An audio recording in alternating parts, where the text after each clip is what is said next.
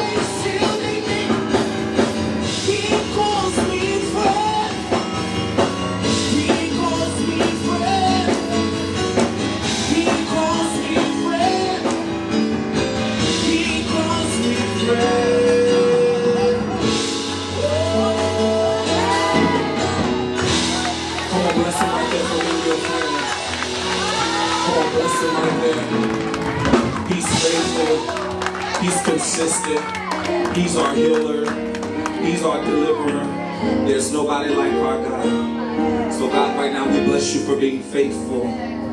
We honor you for being our keeper. We honor you for being everything we have ever needed you to be. You're holy, you're righteous, and there's no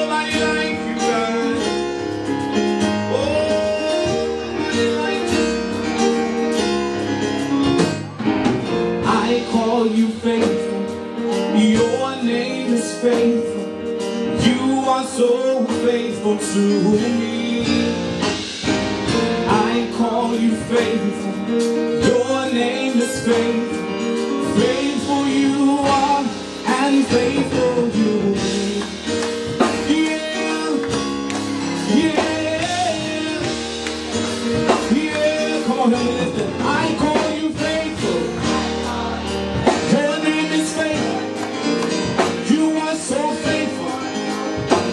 ser amigo.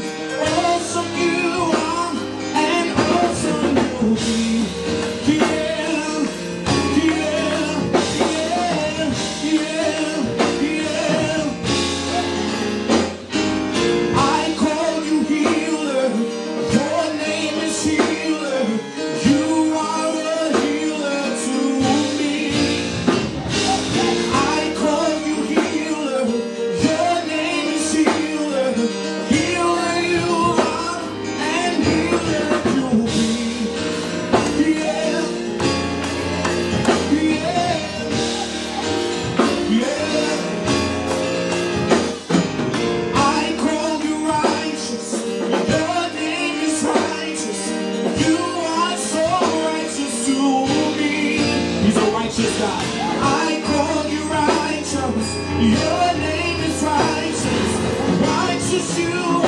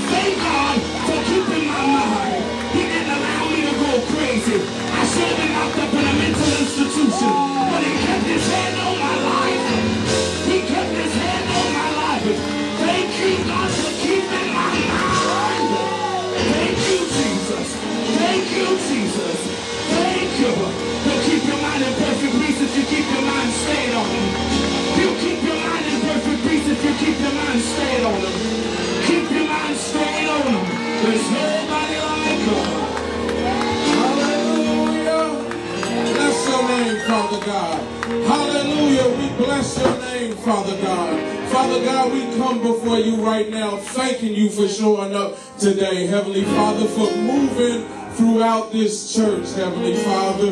We thank you on today, Heavenly Father, for giving us another opportunity to praise your name, Heavenly Father. For some didn't have this opportunity, Father, so we don't take it for granted, Heavenly Father. Father, like the cherubims, Father, we will sing, Holy, Holy, Holy is the Lord God Almighty, Heavenly Father, for you are worthy of all the praise and all the honor, Heavenly Father. We just thank you on today, Heavenly Father. Heavenly Father, right now we set the atmosphere, Heavenly Father, for you to move how you want to move, Father. We set the atmosphere, Father, for healing right now, Father. We set the atmosphere right now, Father, for deliverance right now, Heavenly Father. We set the atmosphere, Heavenly Father, for yokes being destroyed, Heavenly Father. Father, and chains breaking off your people on today. Heavenly Father, we receive, Heavenly Father, your spirit on today, Heavenly Father.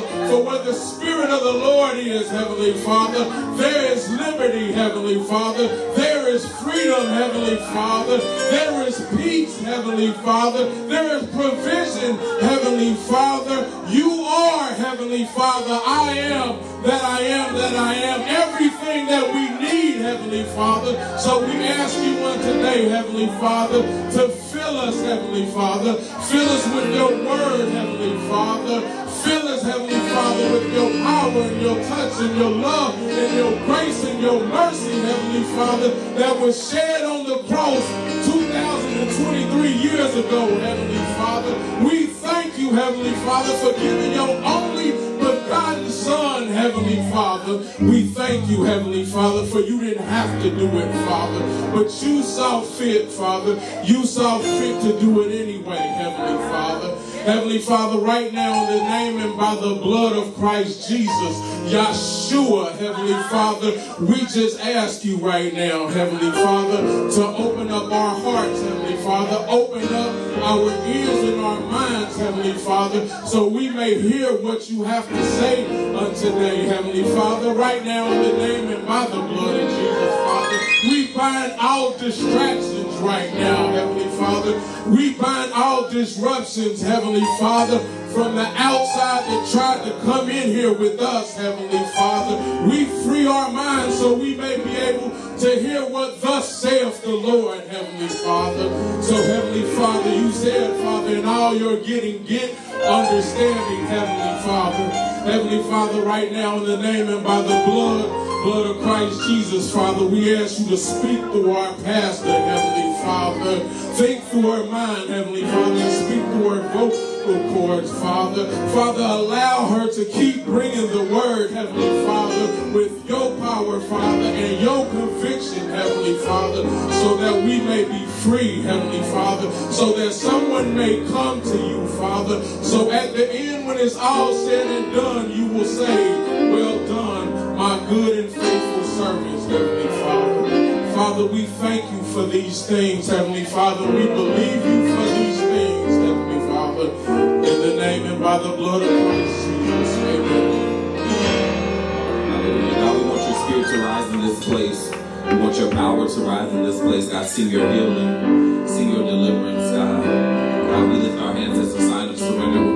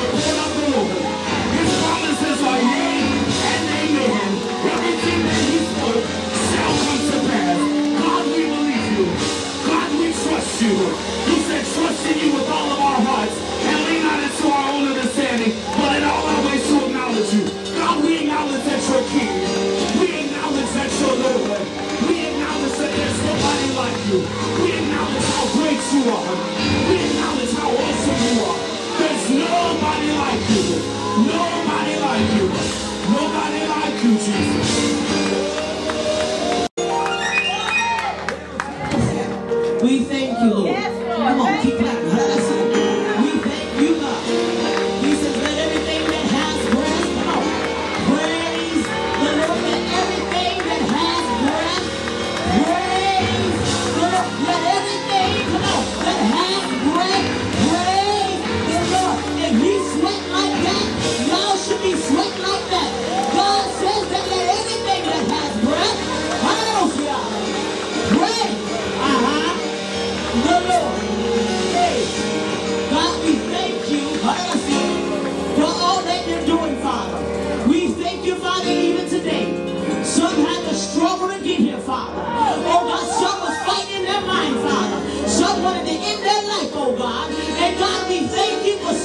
heaven intervene, Father. We ask you, oh God, to blow your weight around. We thank you, Father, for all that you're doing, Daddy. We thank you, Father, for for stepping in the middle of our situation. I thank you, God, that you said you're working on my stuff. I thank you, Father, that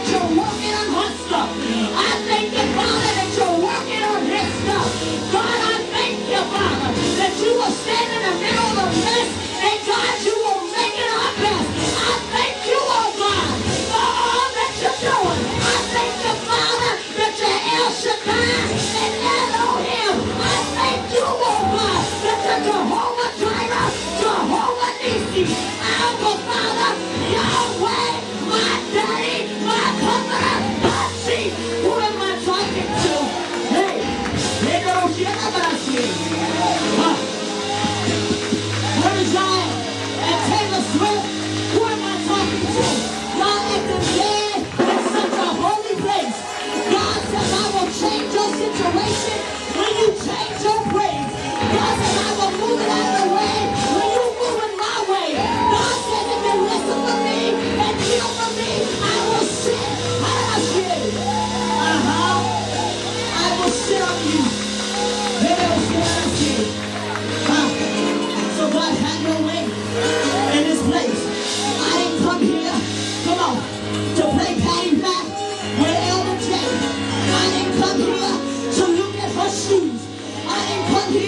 So wonder why she crying.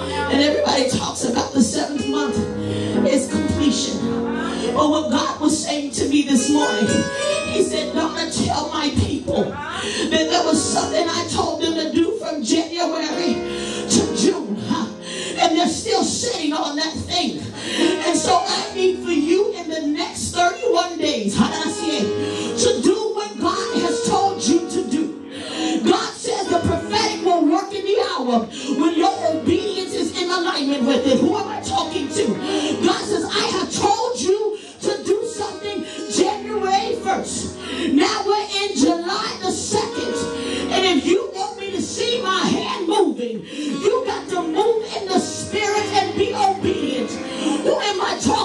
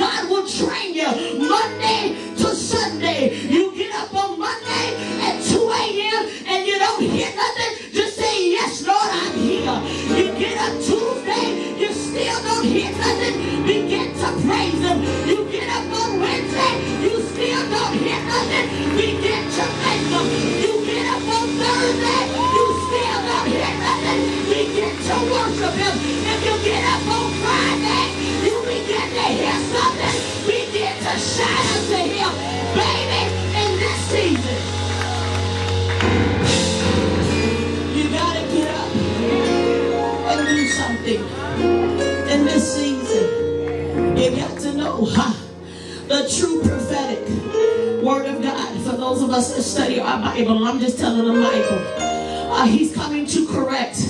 Uh, the true prophetic anointing comes in every prophet that came in the Old and New Testament. Yes, he will bring the words of, of encouragement, but first he will bring correction. God does not want to give you the water when your ship got a hole in it. Who am I talking to? You don't want that under the water, when you got holes all in the back of your ship. God says we got to be delivered from wanting the water with a broken ship. We got to be delivered from wanting the best. Come on, when we at our work, God is saying, huh, who wants the correction? I'm sick of myself. You ever been sick of yourself? I'm talking real you looking for Mary had a little lamb. Exit to the right. I, I'm sick of myself being in the same situation that God told me to believe, but I didn't and still don't have faith. I'm sick of myself when God says he's going to make a, a way out of no way, and I still can't see the way. I'm sick of myself. So when you get sick of yourself, that's when you can go to God and get the true word of God. You don't need a prophet to come and tell you what's wrong with you. If they trying to guess your social security number, baby, that's a witch. Uh-huh. My social security number ain't got nothing to do with my sin. Can you speak to the sin that's in my life? Why am I in love with a married man? Why, why, why am I playing myself behind the scenes? I don't care you know that I got a cousin named Joe, but what I do care about in this season, if you know that I am suicidal, watch what I care about in this season. Who am I talking to? But that's what I care about. Care not about Joe. I ain't even talked to Joe. T- tell me about me in this season. Huh? How did I see it? We gonna go right into the word. Thank you. You to back me up, okay? We gonna do it? We gonna do it? Communion at the end of this thing. Oh? God, have your way. In this place. We're gonna be in the book of Second Peter. Have your way, God. That's it.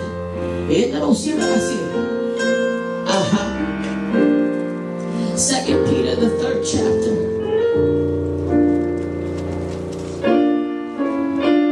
If you all can stand for the reading of the word. Little people, hold tight, hold tight. Elder Joyce is like, we getting ready to leave, y'all. All the little people, raise your hand. Okay, we got a few. All right. All right. Y'all just hold tight. Y'all come out here. Come on out here. And go right here by Elder dress. Elder dress sit right there. They're getting a little nervous. They say, I'm talking too long. That's right. All right, baby. You go right there. Y'all line up real nice, nice and quiet. And stop right there, right there. Don't move too quick. Hey, don't move too quick. Y'all just hold tight, okay? All right. All right. We gonna be real quick. They get they start side-eyeing me. Uh, all right, so we'll be in uh, the second Peter, the third chapter, uh, beginning at verse one. It says, "Beloved, I now write to you this second epistle, in both of which I stir up your pure minds by the way of reminder, that you may be mindful of the words which were spoken before the holy prophets, and of the commandment of us, the apostles of the Lord and Savior, knowing this first, that scoffers will come in the last days, walking according to their own lusts, and saying, Where is the promise of his coming? For since the fathers fell asleep, all things continue as they were from the beginning of creation. Verse 5 For this day will fully uh, forget that by the word of God. The heavens were of old, and the earth standing out of water and in the water. Verse 6 by which the world that then exists perished being flooded with water. But the heavens and the earth which are now preserved by the same word are reserved for fire until the day of judgment and perdition of ungodly man. We're almost done. Verse 8 but beloved do not forget this one thing that with the Lord one day is as a thousand years and as a thousand years as one day Verse 9 The Lord is not slack concerning his promise, as some count slackness, but is long suffering towards us, not willing that any should perish, but all should come to repentance. You all may be seated in the presence of the Lord. Now, y'all go marching glory. There you go. Two by two. We pray for you, Elder Joyce. There you go. There you go. The order will you help. There you go. All right, put your, your dress down, girl. There you go. There you go. All right. Let's go. You ready? Because you know I'm coming out All right. Turn to your neighbor. I see it? And say, you need to be mindful and watchful.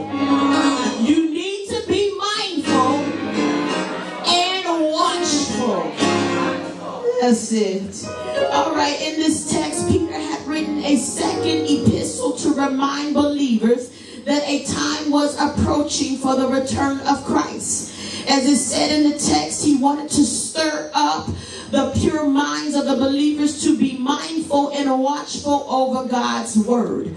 Peter knew then, as we know that now, that we are living amongst the days of turmoil, confusion, discord, and danger. He specifically calls out the scoffers who become in the last days entangled in the lust of their flesh and doubting the second coming of Christ.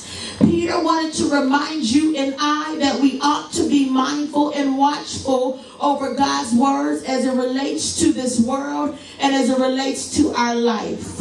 Are you all hearing me today? Peter said we ought to be reminded yet a second time that Christ is coming back. Line it up, Pastor. I don't mind if I do. See, when we are watchful, we are expecting for God to move. I'll say that again. When we are watchful, we are watching with expectation that God is going to move on such a thing. When we are watchful, we are in relationship with God like never before.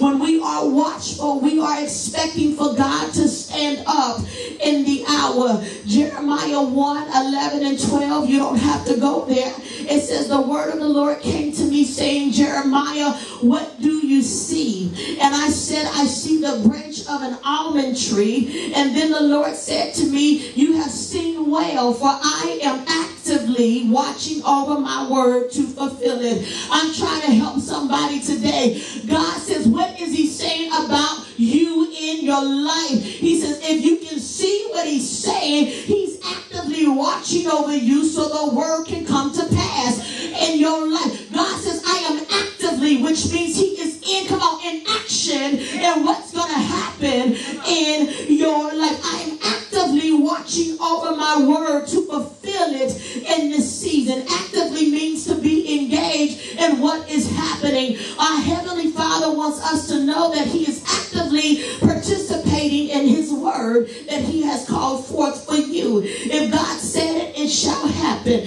Tell to your neighbor, say, if God said it, that's it, it shall happen. If God said it about you, y'all don't believe it. If God said it, it shall happen. Are you actively watching over what God said about you? God says, it shall happen. You should be mindful. We are watching the word of God to come to pass. And when we are watchful, we are truthful. I'll say that again. When we are watchful, we are truthful in the hour. Many believers love to watch what is happening in the world and love to quote Revelation. However, many of us are not mindful to get enough to respond to the revelation. Y'all know how everybody says we in the last days. You know, in the book, they don't know no other book but Jeremiah 29 11, and they know the last days. But God said to me in this hour, if we know that we are in the last days, then you and I should be moving with a sense of urgency to know we got to get our stuff together. If we know that we are in the last days, what God told us to do January the 1st, we should have been moving with a sense of urgency. If we know that we are in the last days, then we should, come on somebody, we should be moving out of a sense of obedience like never before. Pastor, what are you talking about? Well, if we know that Christ is coming back, we should be moving with a sense of urgency corporately and individually. Holy Spirit should be able to light a fire inside of you to get you to move quickly in the hour.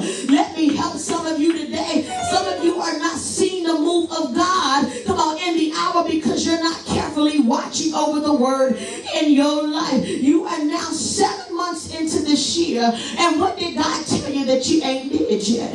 Who am I talking to? I had a friend that said he hadn't checked his mail, and then all of a sudden, months later, he checks his mail because they put a note on there, and there was a check in the mail for him. And I'm not telling you to check your mail for a check. I'm telling you to check your mail so you don't miss the details. Who am I talking to? In the hour, God is telling you to do something, and you have to have a sense of urgency in the hour. Some are suffering from the spirit of procrastination, and others are suffering from being stupor in the mind. In other words, drunken in the spirit. First uh, Peter 5 and 8 says, Be sober, well balanced, and self discipline, Be alert and cautious at all times. That the enemy of yours, the devil prowls around like a roaring lion, hungry, seeking to devour somebody. Uh, Peter reminded you uh, that, that you are need to be sober minded and well balanced. What worked for you last year will not work for you this year. You're operating out of a level of grace. God said last year you were able to finish the year because He stretched the grace that was in your life. But this year, son and daughter, you got to have a sense of discipline. You got to have a sense of commitment in order for the grace that will carry you when you cannot carry yourself. You cannot look for God. Come immature with you because he carried you last year. But this year, something got to change. This year, it has to be a new conversation. This year, it got to be new connection. What did I do last year? Come on, that won't work for this year. God says that this year, you got to be watchful over the word that's in your life. I have to be watchful over the word. What does that mean? That means you can also be watchful over your finances. Who am I talking to? Y'all know how that demon of 50% off and 19.99 and 20% and 10% and that dress is still in the car. It's in the car because I'm not supposed to be buying it. God says that demon, you got to get rid of the act because you got to be mindful and watchful over your finances. That 5, 10, and 15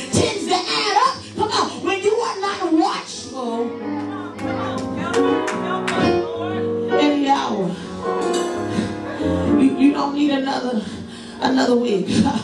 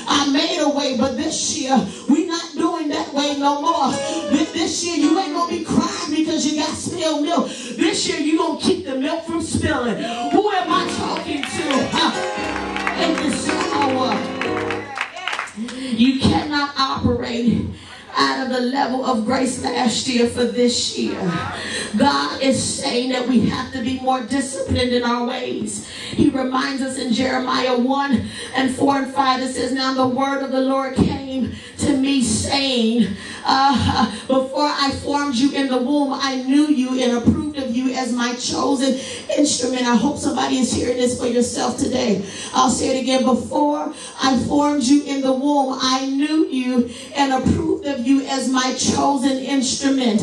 And before you were born, I consecrated you myself as my own. I have appointed you as a prophet to the nations. God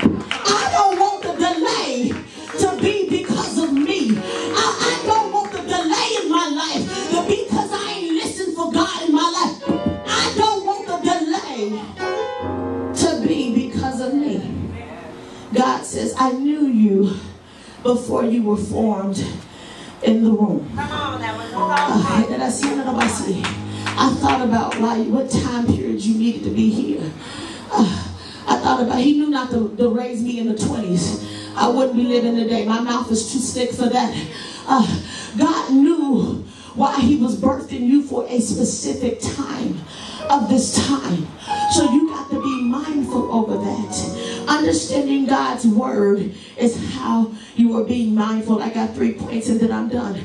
The first point is we must build our knowledge of the word of God. We must build our knowledge of the word of God. Typically, before you take a test, you study the content. Is that not a true statement? Before you take any test to get a licensure, a certificate, come on, uh, you have to study the material. See, many of us are going into spiritual warfares without studying God's word. You are diagnosing yourself depressed and asking for a spa day, talking about well-being, and God is saying that actually you're in the fight before the flight.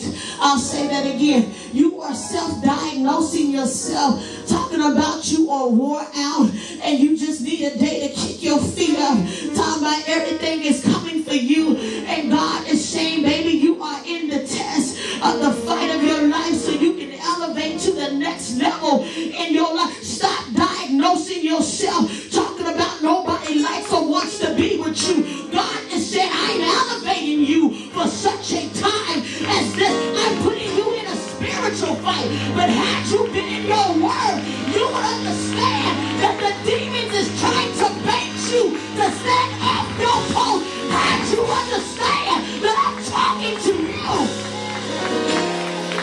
in the hour. You all on the internet diagnosing yourself. Oh, I don't look like what I've been through. You ain't been through nothing yet. Uh, who am I talking to? Uh, uh, I, I, got my therapist today, and God is saying, You're sitting on your therapist couch, and you really should be in your prayer closet reading your word. We are misdiagnosing ourselves instead of going to God. No, I'm not saying that you don't need your therapist and they're not good for you. However, what I am saying, there are some things you need to come to terms with first. To watch over the word of God in your life, you need to tell the truth about your life. Ah, you out here wasting this therapist's time because you will not be truthful. See, a recipe for breakthrough is breaking through the lies of the enemy. A, a, a recipe is breaking through the lies of the enemy. You know, I meet with so many people throughout the week, and they only tell me 30% of their 100% problem. And then they come back to me two weeks later, and then they want another conversation. Well, until you give me 100% of what's going on in your life, I can't tell you to leave him because you're telling me that he's free. But he's married, baby. So that's why you're getting all hell, oh, come on, job. Come on, if you've been dishonorable in the job, the hell is coming upon you because you're not moving in order. You got to tell the truth about where you are in this season for God to give you the truth that's in your life. Stop calling that therapist, asking them why you still feel like this. God is saying you got to be the truth about what's happening. It's always negative people. Uh, I just feel depressed when you hang around depressing people. Uh, uh, uh, uh, God is saying, tell the truth about where you are. He reminded me of Elijah. See, Elijah ran from Jezebel because he had just won a great war. And Jezebel was so upset that Elijah had the mantle and the power that was on his life that he allowed Jezebel's word to move him out of his position. And he got to a place where he ran. And God basically said to Elijah, he said, what are you doing here? See, many times we have to ask ourselves, how did we get here? How did I get depressed? How did I get broke? Come on, how did I get dishonorable? How did I get to this place of strife? How did I get here? So Elijah had ran away because he was on the flight to his elevation. It says, now Ahab told Jezebel all that Elijah had done and how he had killed all the prophets of Baal with the sword. Then Jezebel sent a messenger to Elijah. So, so may the gods do to me and even more uh, if by this time tomorrow I do not make your life the life of one of them. See, the enemy wants you to take bait of his lies. One thing God is trying to do in our lives is he's trying to redirect our mind. When something great is getting ready to happen for you, the enemy will send Jezebel in your life to torment you. And in this season, you got to tell Jezebel, not today, not tomorrow, not next week. Because I know that I have been called for such a time as this. If you got to do a spirit check, if hell is knocking on your door, then baby, you are called for such a time as this. If stuff is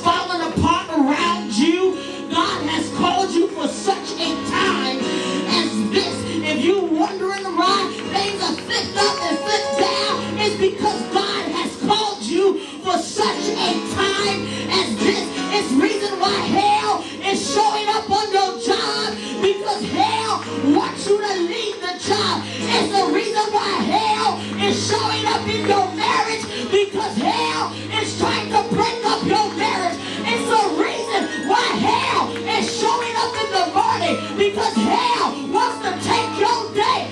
God is saying, y'all better start I'm smart, I'm pretty, I'm handsome. I'm smart, I'm pretty, and I'm handsome. God says if you don't know who you are, you ain't gonna know whose you are. In this season, you got to begin to decree and declare what God has called forth in your life. You got to put your hands on yourself and say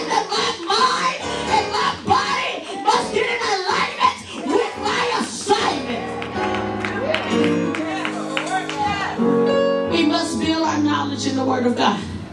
The second thing, we must be watchful. To be watchful, we must take heed of the Word. What did God tell you to do? Stop looking for confirmation from others and accept the Word for yourself. Anything God tells you to do, it will line up with His Word. The third thing we need to do is we need to be mindful that Christ is coming back. If God has exposed it, believe it and fix it. We need to stop returning to our. Ah, Bad ways, bad thinking, bad relationships, and bad friendships. God said to me, He says, tell the people of God to stop returning to their trash can. The things that God has delivered you out of. Stop returning to this place. I got it. Stop returning to this place. This is the very place that will hold you in bondage. This is the very place that will keep you in a dark space that no one else can see you because that's how the enemy wants you. He wants to bag you up. Come on, somebody. He wants to bag you up so he can suffocate you. And God is saying in this season, if you no longer want to be suffocated, if you no longer want to be in bondage, kept returning to that place. I know Saturdays is my day that me and my husband watch TV. And yesterday he chose The Wire. Now he gonna watch it 50, 11 times. And I asked 50, 11 questions because that was years ago we watched that. And there was one section in The Wire. Uh, oh, how did I see? What's his name? Chauncey? What's his name? What? Cut. What? Cutty. Cutty. he told, why you asking me what that man name? Better not be your son. I said, don't worry about God's business. So Cutty gets out of his long vacation. Uh, and he returned to his vomit. And there was one scene where Cutty was sitting there and they were going to, I don't know, they was robbing somebody, they was doing something. And how did I see it? They were shooting. This young man was on his back. He looked like he was every bit of 16. And so Cutty looked at this man. And he just looked at him. It was like he was dazed. And then they left. And so one of the, I can't think of the other guy's name, he said, what happened? Why y'all walking in here like y'all, the job was done? Cutty said to the man, he said, listen, this ain't Emmy no more. It, oh, that I see. He said, that's all right. You still a good soldier. We gonna use you over here. And he said, no, you're not hearing me. Huh? That ain't in me no more. I can't go to a place where God has delivered me out of. I can't put life, blow into that for me. I can't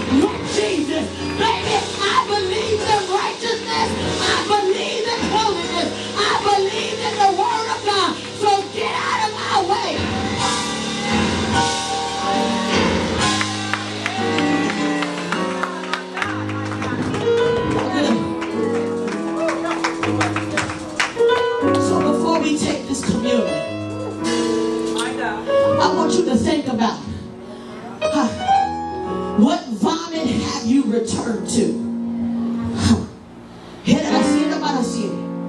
What vomit have I returned to? Huh. And I want to be like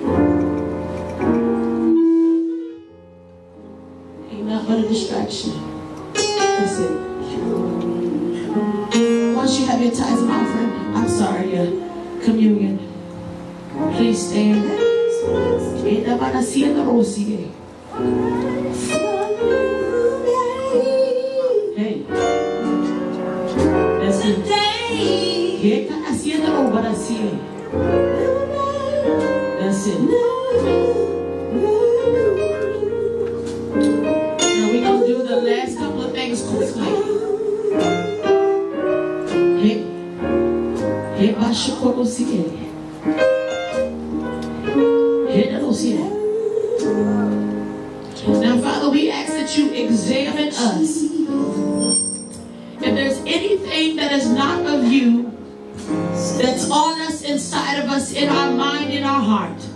Father, expose it right now. Because it ain't no more in us, oh God. And we need you to move us out of that place. Because we know it won't work this year. It could Any unforgiveness, any doubt,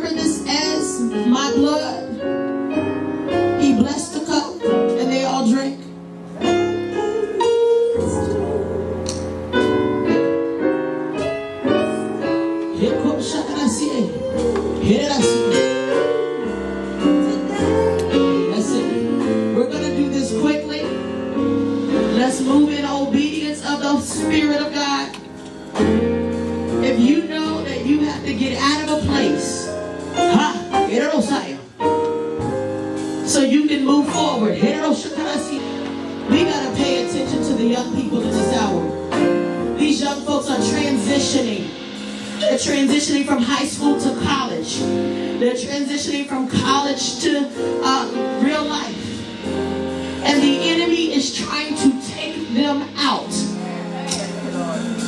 They don't need the finances. They don't need the fancy clothes. What they need is for you to say, Father, I lay before you so and so. What they need is for you to say, Father, keep my child, my, my cousins, my nieces, and my nephews, my godchildren from seen and unseen harm and danger. What God needs from us, for these young people, is to decree and declare his power and his glory over their life. God says that the enemy is trying to come for our babies. He said that the enemy is trying to make him distasteful to our babies. God is saying in this season, we got to trust what he's doing in the hour. Don't worry about their grades. Worry about their mind. About the college that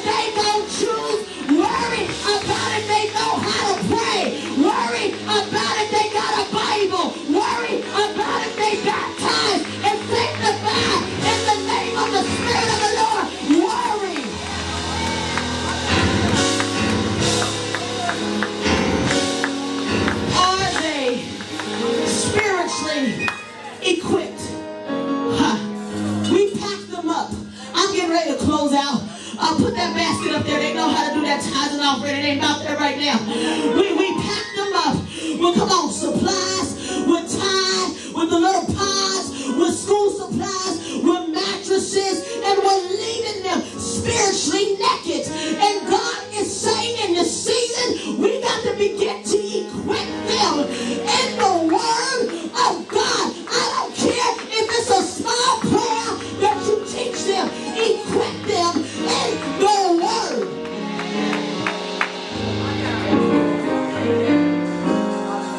Get my get my thing out real quick, my sermon out. That was one part I wanted to go over real quick.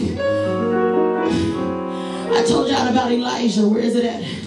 I didn't get to go over it. As Elijah, I'm getting ready to close out.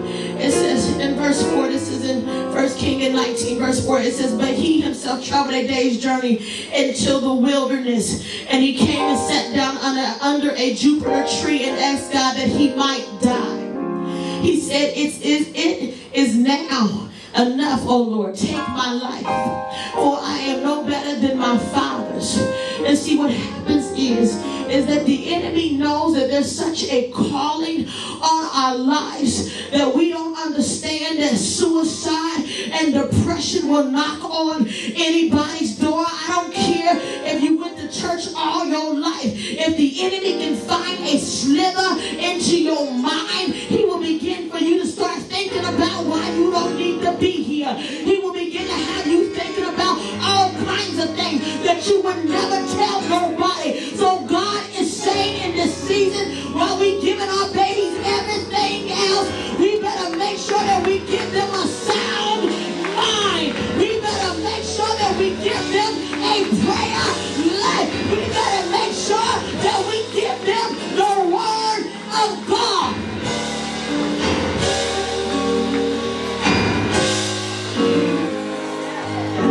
I can pray for Denham. But see, there's gonna be seasons in Denham life that he gonna have to pray for himself. Who, who am I talking to? Denham can't go off of my grace and my anointing, baby. He's gonna have to learn the word of God for himself. Yeah, come on, who am I talking to? Grandma is eventually go on home to glory, so she ain't gonna be around to pray for you. You got to learn. Your God, do I have the tongue Oh, my tongue? Ah, da, da. Baby, whatever you got to do, you better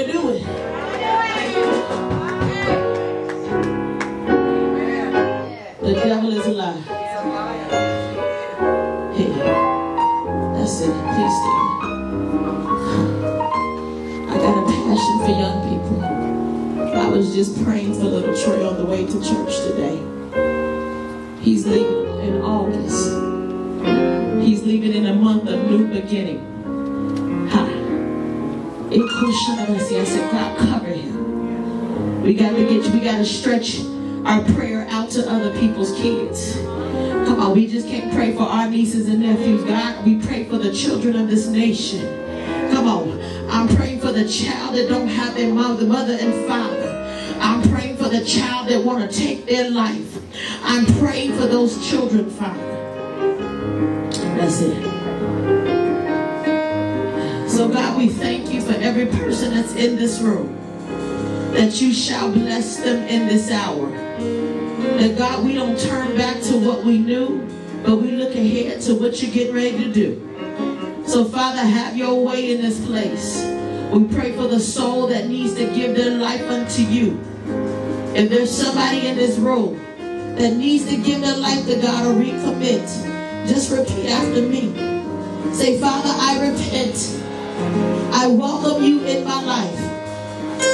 I believe that Jesus died on the cross for my sins. And with your dunamis power, God, that you raised him on the third day. If you just said that you just given your life to Christ or recommitted your life to Christ, the second thing you need to do is get yourself in a biblical-based church. Not a church that's going to feed you donuts and coffee, but a church that's going to feed you the word and love you, correct you, cover you, and elevate you. Get yourself in that church. And lastly, believe what God has said about you. If you're supposed to be a member of this church, Sister Iva is in the back. She's like four foot tall. Where's she at? The kids. She with the kids. She's in the children, okay? Auntie Gwen, raise your hand. Get to her and she will get you what you need. Amen. Listen, real quick, y'all know that we're doing the tent revival and the baptism on July the 29th. If you have not been baptized or your babies ain't been baptized and you ain't been revived, this is a time for you to get there because we are going to revive the souls and we are going to revive the mind of the believers in the hour. There is a move of God that is going to happen on the 29th. And I encourage you to get there. We got some merchandise. Come up here, Van. Hurry up. You can ready close. We got some t-shirts over there. This one is I will choose doctrine every time, which means I'm going to choose the truth, the word of God every time in my life. Can't no lie stand around me comfortably. I am confrontational with the enemy. Who am I talking to? I am very confrontational with the devil. He can't even get comfortable in my presence. That's why sometimes you people leave early. That's why sometimes they squint and squirching and then they see. Because baby, I can spot out a demon 10 foot away. And I'm not going to let it to live here comfortably. So y'all know the different ways that y'all can give. Y'all can drop it in a pot. Uh, but I will say, let the Lord bless you and keep you. Let the Lord make his face shine upon you and be gracious to you. The Lord lift up his countenance upon you and give you peace and power in Jesus praying. Amen and amen. That's right, go out there. Hey. All my life. Bless this woman of God. We thank you for all that God is doing in your life. I thank you that God shall bless you. I That you shall continue to do all that he has for you. I thank you. I bless you, boys. 素晴らしい素晴らしい